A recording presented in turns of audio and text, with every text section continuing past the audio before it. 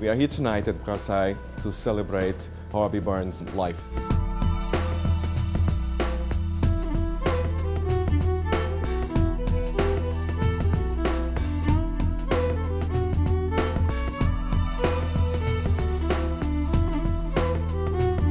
Canadians seem to have an unquenchable thirst for scotch.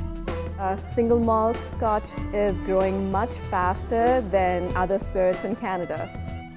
The Beam Suntory Scotch portfolio is very diverse. We've got something for everyone here. We've got iconic brands like Laphroaig and Bowmore from the island of Islay, and we have award-winning Scotch Auchentoshan.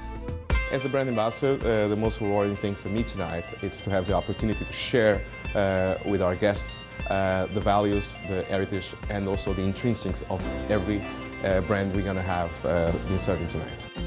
We developed a menu with a, with a chef, and we created three cocktails, and we're going to have six different expressions of our portfolio.